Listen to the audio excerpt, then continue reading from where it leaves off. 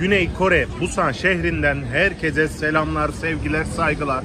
Şimdi biz Busan şehrinin en popüler caddelerinden biri olan e, Beef Square diye geçiyor. Şimdi güzel bir şekilde hadi gelin vakit kaybetmeden Kore'nin sokak lezzetlerini tatmaya başlayalım.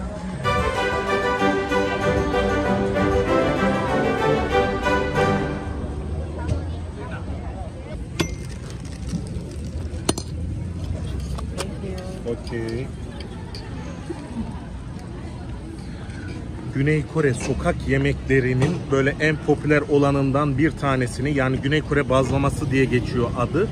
Ee, bildiğimiz e, içerisine e, pin, e, peanut diyorum ya fıstık ezmesini sürüyorlar. Hamur, içerisine e, kahverengi şeker, içerisine kabak çekirdeği, antep fıstığı, e, bir de çekirdek yani ayçiçeğinin içerisini dolduruyorlar ve bu şekilde bayağı popüler bir yer. Bayağı bir sıra bekledik. Ee, bir sokak lezzeti diyebiliriz. Hemen tadına bakıyoruz. Farklı bir lezzet yediğimiz için kendimizi mutlu hissediyoruz. Ha. Daha öyle kuru yemiş tarafı böyle bardağın içine koyduğu için bu arada da paketleme sistemine bak. Bardağın içine koyup veriyor. Ee, kuru yemişler biraz galiba aşağıya indi. O kuru yemişli tarafından bir yedikten sonra size tam düşüncemi söyleyeceğim.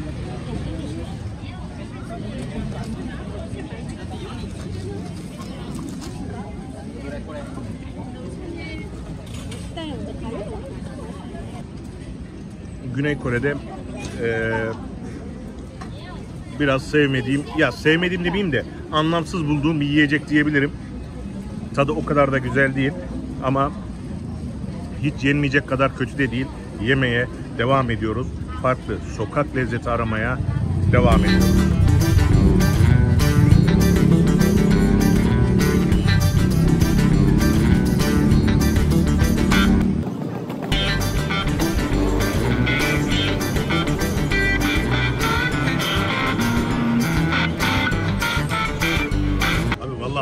Arıyorum ama Türk denk gelmedi. Burası böyle film festivalinin yapıldığı böyle Busan şehrinin böyle meşhur bir sokağı, e, meşhur bir caddesi diyeyim. Burada bütün ünlü yönetmenlerin, ünlü e, oyuncuların imzalarının olduğu böyle ayak el izleri var yerlerde. Valla Türk'le denk gelmedim. İran, Yunan hepsi var ama Türkiye denk gelmedim. Belki de bulamadım çünkü başım döndü. Biz yemek yemeye devam ediyoruz.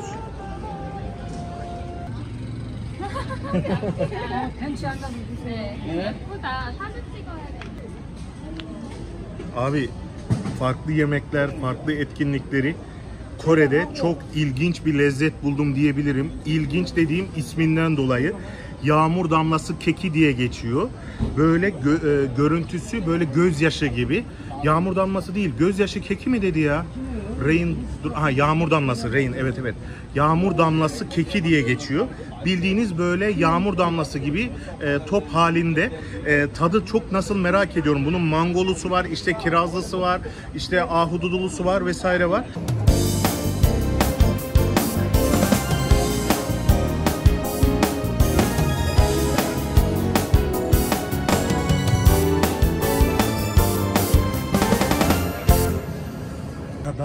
Fazla çeşit var ki işte dediğim gibi az önce ben ama diğerlerinden korktum. Mangolusunu hiç değilse sevdiğim bir meyve. Oradan yola çıktım. Böyle yanına böyle bir soslar attı ama o soslar ne sosu bilmiyorum. Şimdi bir tadına bakıyorum.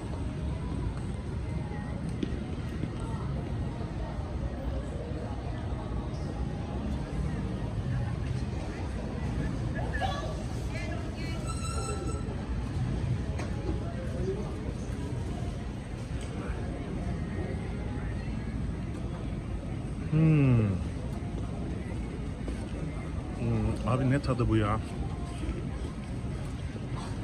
Ee, cheesecake'in üzerindeki e, limonun tadı. Yani orada bu mango da cheese, e, mangolu cheesecake yediğinizi düşün. Altı kekini biliyorsunuz. Zaten büyük ihtimal altı da Oh! Okay. Altı zaten o cheesecake'in altındaki kahverengi yer var ya böyle kek tozu gibi düşünün. Bu e, üstü de cheesecake'in üzerindeki o limonlu işte e, çilekli olan şey gibi düşünebilirsiniz. İnanılmaz derecede güzel bir kıvamı var. Şimdi tekrar yemeye devam ediyorum. Vur vur.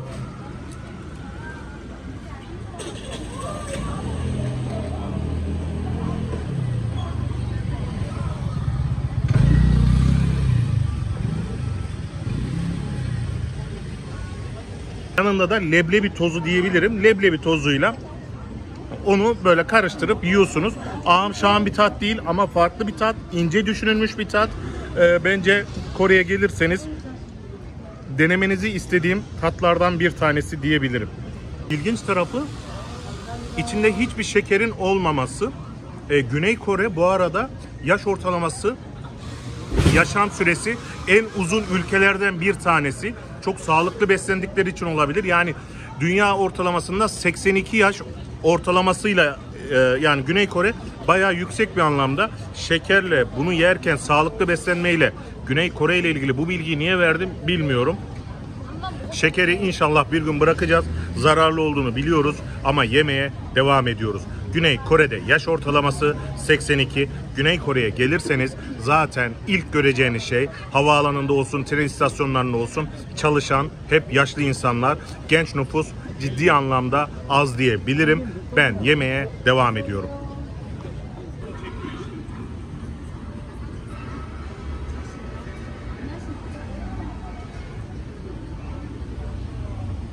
O gördüğünüz dükkanların hepsi kimseyi de rahatsız etmek istemedim ama bildiğiniz falcı. Burada rahat 20-30 tane böyle ufak bir çadır yapmışlar. Çadırların üzerinin içinde böyle belirli yaş üstü olan kadınların hepsi bakın şu anda kadın orada fal bekmek için fal bakmak için bekliyor. Elinde tarot şeyler var ama şu şeye bakan kadının elinde bir de tablet de var. Teknoloji bu kadar gelişti mi ya? Tabletten mi bakıyorlar artık bilmiyorum ki. Fala inanma, yemeksiz kalma. Hadi gidelim. 제인으로 어, 제가 공부를 제법 오래 하네 한 4, 4개월 은 달라 하네 그리고 오케이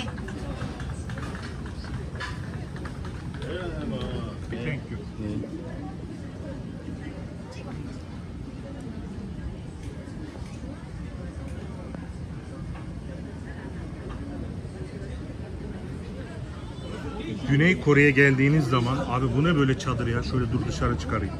Güney Kore'ye geldiğiniz zaman hemen hemen her sokak yemeği satıcısında, her sokak lezzetinde bunu bulabilirsiniz. Buna böyle İngilizce olarak fish cake diyorlar ama şeyde kendi dillerinde pişi pişi diyorlar. Ee, şimdi bunun tadına bakacağım. Sadece balıktan yapılıyor. Ee, görüntüsü pek beni böyle mutlu etmedi ama yine de tadına bakıyorum.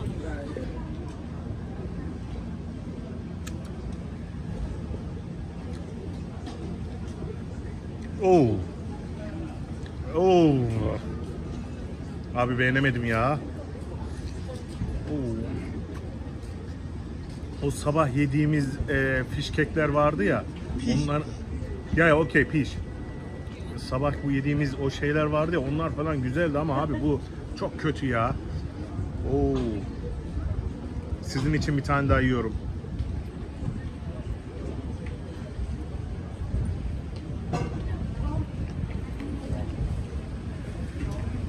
Abi yok ya. Şu balığın her şeyini kullanmayın abiler. Güney Kore yemekleri. Beni mutsuz etmeye başladım bak. İlk başta iyi başladık dedik. Türk mutfağına yakın dedik. Çok güzel yemekleri var dedik. Ama sonradan yavaş yavaş vallahi yediğim lezzetler biraz şey gibi olmaya başladı. Şaka yapıyorum tabii Güney Kore halkı için çok önemli bir yemek ama biz sevmedik diye bu yemek kötü olacak anlamına gelmiyor. Hiçbir yemek kötü değildir. Bu arada yine kısa bir bilgi vereyim sizin en sevdiğiniz yani açlığınız aç kaldığınız zaman hangi yemeği yerseniz yiyin o yemek size dünyanın en güzel yemeği gelir. Biz şu anda burada yaklaşık 6-7 tane yemek böyle seçtikten sonra bu yemeği yediğimiz için veyahut da bunu tattığımız için belki tam olarak tadını alamadık ama yine az buçuk damak zevkime güvenirim. Türk halkının beğenebileceği bir tat değil diye düşünüyorum. Biraz daha ısırıp yoluma devam ediyorum.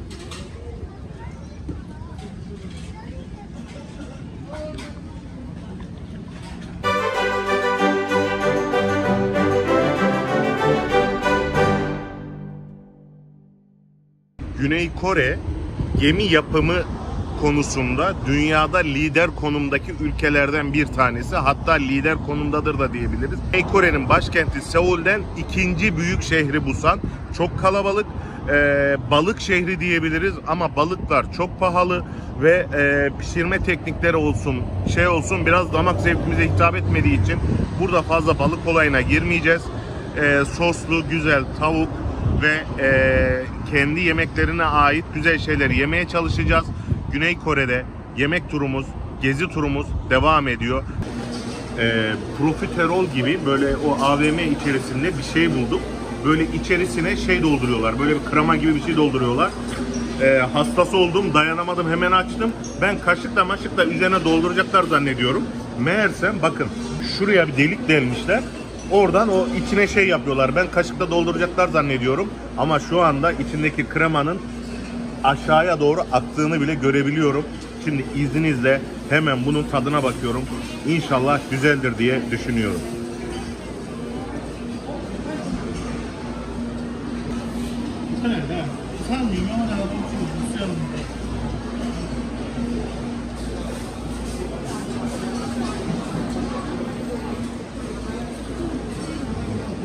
İçindeki kreması inanılmaz ama dışının ekmeği biraz yavan.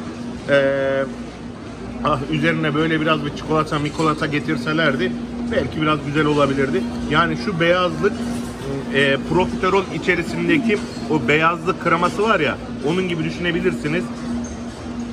Sabah sabah ilk açılışı böyle bir kekle yaptık Güney Kore'de. Yemek turumuz Güney Kore'de devam ediyor.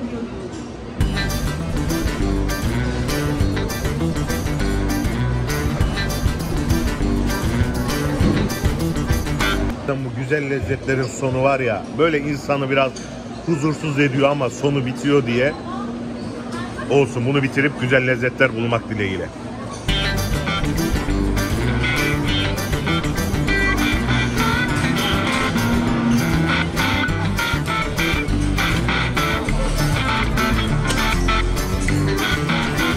bir Türk bunun başında oturursa ne olur hepsini yer diye. Ben salata türü bir şeyler bekliyordum bunda. Hepsi sushi. Yani ben şimdi otursam ne yiyeceğim, e, neyi seveceğim tam bilmiyorum. Ama bir deneyimlemek için oturalım bence derim yani.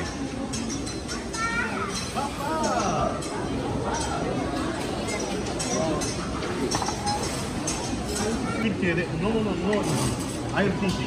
Hayır no eating. Yani şeyi düşünüyorum ben. Türkiye'de hangi menüde bunu böyle yapabiliriz diye düşünüyorum. Salata yaparız ama salatayı da bizim Türkler hep şeyde sever. Oo kavun geldi. Oo it's nice. it's nice. Bak bu kavun geldi. Şeyi düşünüyorum ne diyordum? Türkiye'de bunu yaparsak ama mesela böyle bir menüde neyi koyabiliriz? Bana yorum olarak yazar mısınız?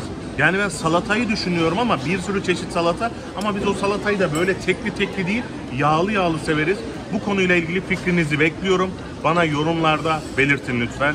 Güney Kore'de yemek turumuz devam ediyor. İzninizle ben bu sushi'yi yemeyeceğim.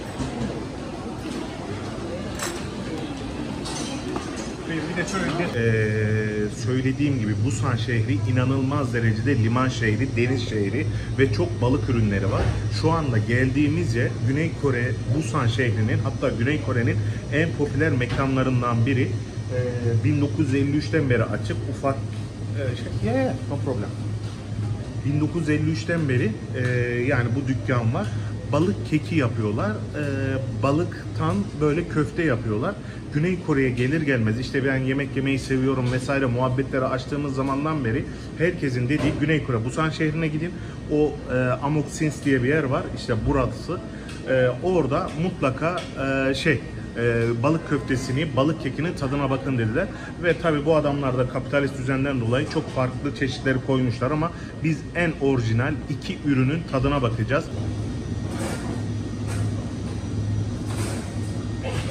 Yani balık ve sebzelerden oluşan çok popüler yani Busan'ın en popüler yemeği diyebiliriz. Hemen izninizle tadına bakıyorum.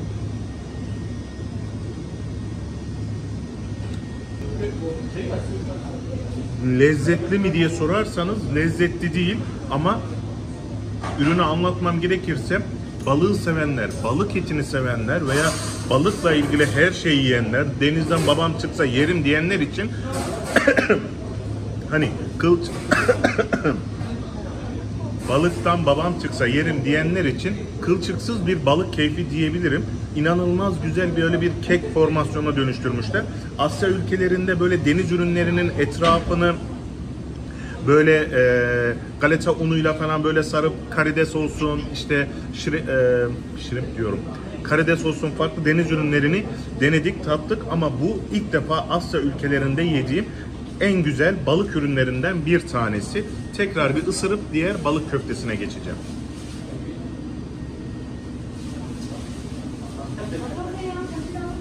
Balık keki öyle lülülülük bir lezzet değil. Bakalım balık köftesi nasılmış.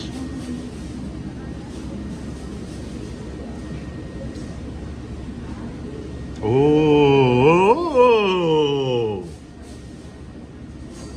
Bunun kıvamını güzel tutturmuşlar abi. Yani köfteci Yusuf, köfteci Ahmet, köfteci Mehmet, köfteci Abdurrahim balık köftesini deneyebilirsiniz.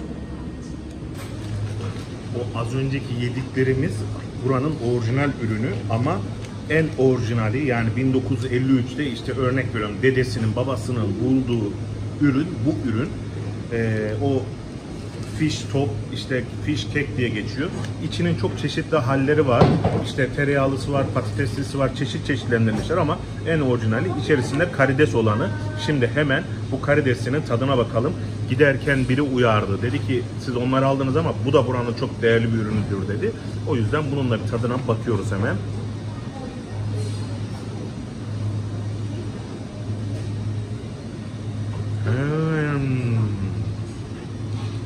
Bu valla.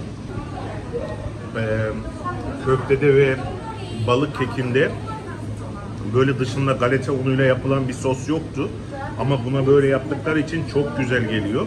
Asya ülkelerinin hemen hemen hepsinde her yemeğin yanında mutlaka bu balık ürünleri olsun, tavuk ürünleri olsun bir e, sosu görebilirsiniz. Ama Kore'de bu soslar emin olun yok denecek kadar azdır. Kore halkı aynı Türk mutfağı gibi sos kullanmıyor. Ama biz bu köfteyle keki yerken biraz sosu aradık. Ya bir soslu olsaydı daha güzel olur dedik. Ama bunda hiç sosa gerek yok. İnanılmaz derecede güzel bir lezzet. Ben tadına bakıyorum. Kendinize iyi bakın. Sabah sabah balık topları, balık kekleri çok güzel geldi. Hadi bakalım farklı yemek turuna devam ediyoruz.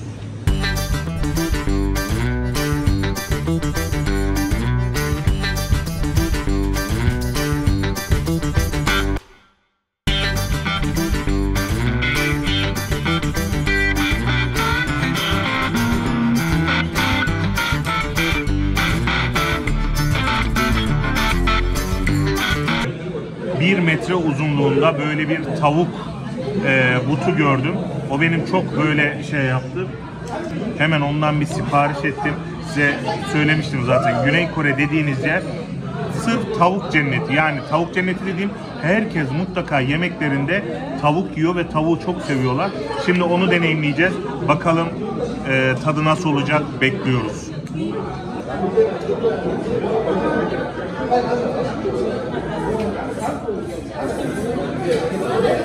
Az önce söylemiştim ya 1 metre uzunluğundaki tavuk ile eee, bu yemeğin tadına bakıyoruz. Ama size şunu söyleyeyim. Kızarmış bir pirinç pilavının üzerine acılı lahana ile rendelenmiş mozzarella peynirinin karışımını yiyorum ve inanılmaz derecede beğendim. Güney Kore yemekleri dediğim gibi Türk halkına, Türk damak zevkine çok uygun geldiğini söyleyebilirim. Hemen yemeğe devam ediyorum ama aklım aşağıda bir metrelik tavukta.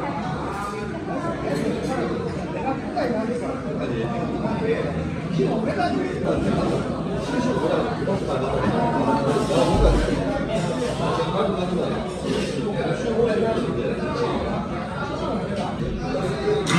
sahneleri Türkiye'de böyle masasına sürekli kebap koyan, metrelerce et koyan, metrelerce Konyalıyım et ekmek koyan eee, sahneleri, restoranları biliyoruz. Asya ülkelerinde ete hasretim ama uzak doğu mutfağında yani Güney Kore'de böyle bir metre uzunluğunda bir tavuğu bu şekilde kızartıp sunum yapıyorlar. Evet ben durur muyum? Durmadım. Hemen tadına bakıyorum. İnanılmaz derecede heyecanlıyım. Eğer Türkiye dışında yemek yemek için hangi şehre giderdim Fevzi diye sorsaydınız Güney Kore'nin Busan şehri derdim. İnanılmaz yemek opsiyonları olan bir şehir. İnanılmaz güzel bir liman şehri. şehirle hakkında gezilerimiz, yemek turumuz devam edecek. İzninizle ben bir metrelik tavuğun tadına bakıyorum.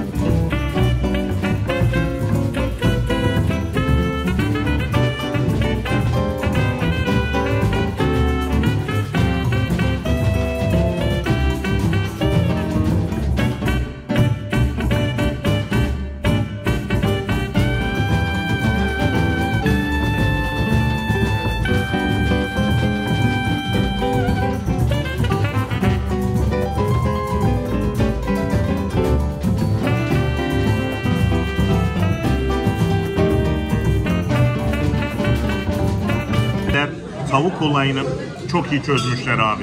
Bu benim Güney Kore'de yediğim dördüncü tavuk yemeğim. İnanılmaz derecede çok güzel bir şekilde tavukları marine ediyorlar, sosluyorlar ve size sunuyorlar. O nedenle Güney Kore halkının diğer Asya ülkelerinden biraz daha ayrı tutuyorum.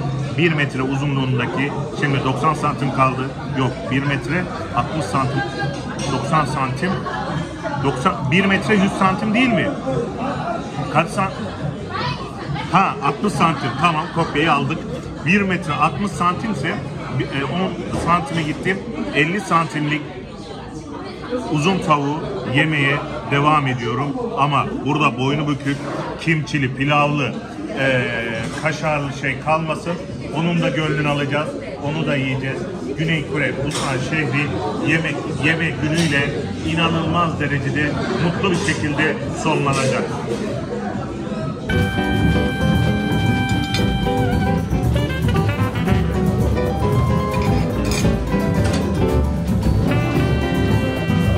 Son lokma, son muhikan, son lezzet. Tepsinin altında ne var ne yok hepsini süpüren, hepsini böyle tadına alan son lezzetin yolculuğu başlıyor.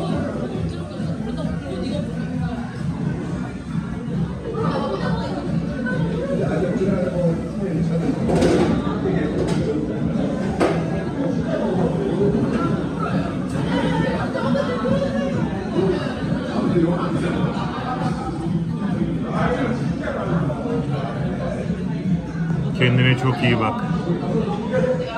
Kaç ülke gezip sonunda Asya ülkelerinde senin gibi lezzetli bir tavuk yediğim için kendimi şanslı hissediyorum. Belki gitmeden çekim yapmak çekim yapmam ama gelip sadece seni çekimsiz yiyebilirim. Kendine çok iyi bak. Kure, Busan şehri yemek yeme günüyle inanılmaz derecede mutlu bir şekilde sonlanacak.